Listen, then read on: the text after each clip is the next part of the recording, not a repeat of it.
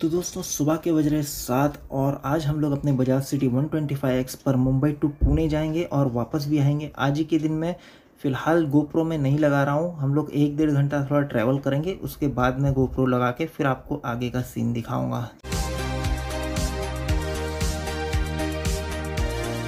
यहाँ पर अपन लोग अपना गोप्रो का सेटअप लगा देते हैं दोस्तों, क्योंकि अभी फ़िलहाल साढ़े तीन घंटा बाकी है। हमको आप देख सकते हो मैप में। साढ़े तीन घंटा बाकी हम लोग को पूना पहुँचने में और हम लोग को आज के ही दिन जाके वापस भी आना है। तो चलो स्टार्ट करते अपनी बाइक को और ले चलते आपको राइड पर बजाज सिटी 125 पर पुणे।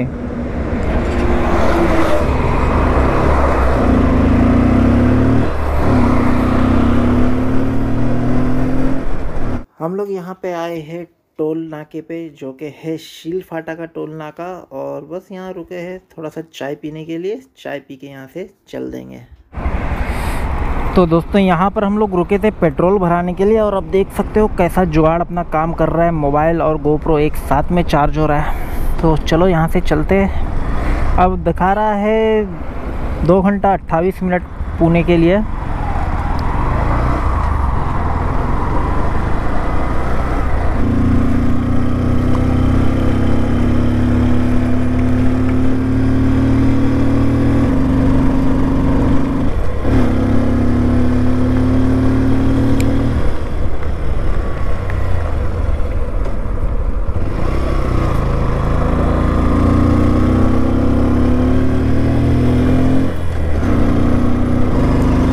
अरे बाप रे इतना सारा ट्रैफ़िक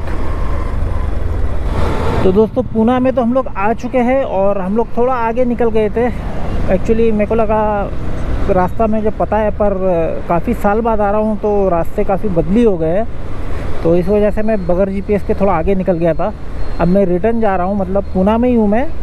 और मज़े से आई भाई भाई, कोई प्रॉब्लम नहीं हुआ पूना आने तक। एकदम मक्खन की तरह चल के आई है भाई। ना मेरे को कुछ इंजन का ऐसा कुछ प्रॉब्लम फेस हुआ कि भाई इंजन गर्म हो रहा है, आवाज़ कर रहा है, या गेयर अटक रहा है। बल्कि मैंने आपको बताया ना भाई, जो गेयर शिफ्टिंग का प्रॉब्लम था ना, जो गेयर जाम था इसका सेकंड गेयर वो भी मेरे को फ्री लग रहा है अभी।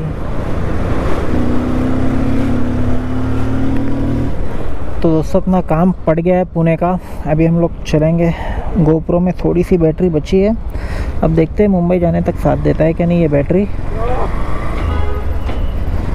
फ़िलहाल हम लोग निकलते हैं अभी मुंबई के लिए। तकरीबन चार घंटे छियालीस मिनट मतलब four hours forty six minutes बता रहा है यहाँ से। भाई तीन सौ किलोमीटर के ऊपर चला लिया हूँ मैं अब तक। मगर अभी भी कोई भी बैक पेन का एहसास नहीं है। हाँ ये बोलूँगा भाई, मेरा कि जो मेरी तशरीफ़ है, उसमें थोड़ी जलन महसूस हो रही है। मतलब मेरा जो बट है, उसमें थोड़ा जो बर्निंग सेंसेशन होता है ना, वो फील हो रहा है। तो वो तो मेरे ख्याल से देखो आप नॉर्मल है, आप पाउडर लगाना है उसके लिए। तो दोस्तों हम लोग आ गए हैं लोनावला। ये लोनावला की गलियाँ। हो हो हो हो।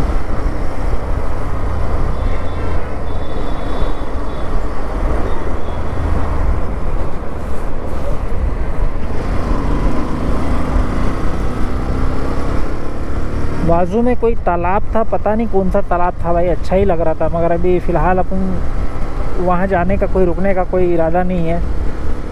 चीज़ तो थी देखने लायक, मगर बैटरी जो है अपनी है लो। मेरी बैटरी नहीं, कैमरे की बैटरी लो है।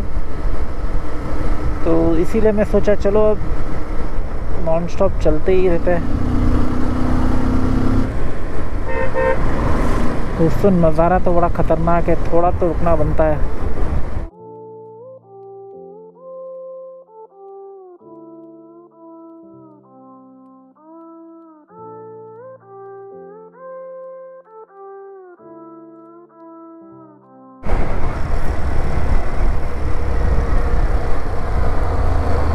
पूना से निकलकर हम लोग अभी पहुँच गए हैं थाने। अब मुंबई बता रहा है यहाँ से एक घंटा पंद्रह मिनट की दूरी पे। और जल्दी हम लोग मुंबई भी पहुँच जाएँगे दोस्तों। और जहाँ तक बाइक का सवाल है दोस्तों, एक भी इतना सा भी इशू नहीं हुआ, ऐसा लगा ही नहीं कि मैं इतना लंबा जा रहा हूँ ड्राइविंग करके। मतलब जैसे होता है ना, एक आदमी नॉर्मल की डेली ड्राइविंग करता है डेली रूटीन का ड्राइविंग करता है। वैसे ही लगा मुझे मतलब उतना ही चला रहा हूँ मैं। हाँ थकावट तो हुई भाई, ऐसा नहीं है मैं बोलूँगा कि थकावट नहीं हुई, क्योंकि मैं भाई कोई बड़ा राइडर वाइडर तो हूँ नहीं। फाइनली हम लोग आ गए अपने घर के करीब। एक सेकंड लाइट ऑफ़ करता हूँ, आपको येलो येलो दिख रहा होगा डर्टी फेलो हाँ तो हम लोग अपने घर के करीब आ गए हैं और बस अभी आधे घंटे में हम लोग अपने घर पहुँच जाएँगे, अपने जी वगैरह सब निकाल दिया, क्योंकि यहाँ से तो रास्ता मेरे को टोटली मालूम ही है। तो बाइक के बारे में बताता हूँ भाई। बाइक जो है, देखो कंटिन्यू चली कंटिन्यू और भाई कुत्ते जैसा ट्रैफ़िक मिला है आज, क्योंकि आज सैटरडे था। और सैटरडे के दिन क्या होता है, ये लोग जो सैटरडे, संडे को मोस्टली तो थाना साइड की जो ट्रक होती है ना बड़े बड़े ट्रेलर और ट्रक्स होते, लॉरियाँ होती है ना तो उन लोग उसको बेहिसाब छूट दे देते और वो भाई साहब रोड पे निकल जाते खुले सांड की तरह और हर जगह ट्रैफ़िक मचाते हैं। तो जिसकी वजह से भाई इतना जाम मिला है ना, क्या बोलूँ भाई, एकदम दिमाग ख़राब हो गया। यहाँ तक कि फाउंटेन वाला ब्रिज भी जो है ना, जो नया ब्रिज बना है, वो भी इतना जाम था ना, क्या बोलूँ। मतलब कम से कम मेरे को पौना घंटा, एक घंटा वही ब्रिज पे लग गया।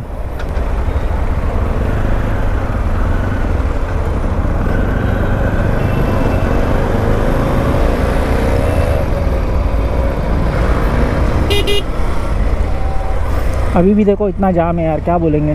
तो खैर बाइक की बात बता रहा था भाई मैं।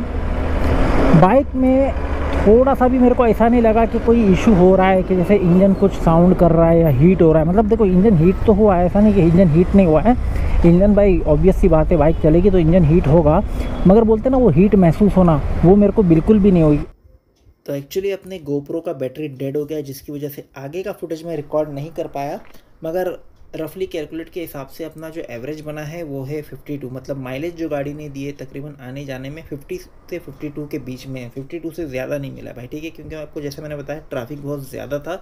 और दूसरी बात, गाड़ी में कोई भी प्रॉब्लम नहीं आया भाई, आने जाने में एकदम मक्खन की तरह चलिए, कोई भी प्रॉब्लम नहीं आया। और थकान की बात करें तो भाई देखो बैक पेन तो मुझे नहीं हुआ बिल्कुल भी और थकान की बात करें तो हाँ भाई, थकान हुई है थोड़ी बहुत क्योंकि वो आप ये बाइक चलाओ या कोई भी बाइक चलाओ, थकान तो होगी क्योंकि आप सुबह से उठ के जा रहे हो, एक जगह बैठ के बाइक चला रहे हो तो थकान तो होती है उसके अलावा भाई जैसे एक गाड़ी चलती है वैसी चलिए, कोई भी प्रॉब्लम नहीं है, ना गेयर में, ना इंजन में, कोई भी चीज़ में बाइक ने परेशान नहीं की है। तो इससे साबित यही होता है कि भाई आप ये गाड़ी अपने लॉन्ग टूर पर लेके जा सकते हो। लॉन्ग टूर मतलब 400 से 500 किलोमीटर का मैक्सिमम, ठीक है ना? और हाँ भाई बीच बीच में मैंने थोड़ा रेस्ट भी दिया हूँ गाड़ी को पानी पीने के लिए, जैसे उतर जाना, चाय पीना, खाना खाना। तो मेरे को बीच बीच में मतलब बस पाँच पाँच, दस मिनट का गैप दिया हूँ। खाना खाने के लिए मान लो बीस तीस मिनट का गैप दे दिया हूँ। तो उससे ज़्यादा जो है बाइक को रेस्ट नहीं मिला है। और उसमें भी गाड़ी काफ़ी अच्छी चली है। तो खैर, इस वीडियो के लिए इतना ही दोस्तों। अब अगला ट्रिप अपने को मारना है औरंगाबाद का। उसके बीच में और भी वीडियोस आएँगे। तो इसीलिए बोलता हूँ भाई, अगर चैनल पर नए हो तो चैनल को सब्सक्राइब ज़रूर कीजिएगा और इस वीडियो को लाइक भी कीजिएगा। तो मिलता हूँ आपसे अगली वीडियो में। जब तक कि अपना ख्याल रखिएगा। Thank you for watching guys